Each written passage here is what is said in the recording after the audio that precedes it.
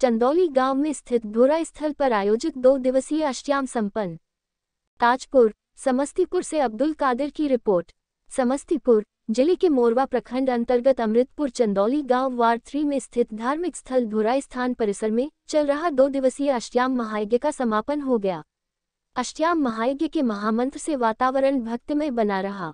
प्रखंड के चंदौली, अमृतपुर, राजखंड हरपुर भिंडी, मिर्जापुर, निकसपुर गोडियारी निस्फी समेत एक दर्जन से अधिक गाँव की कीर्तन मंडली, कन्याएँ, महिलाएँ व युवाओं ने महामंत्र के जाप प्रमुख रूप से भाग लिया।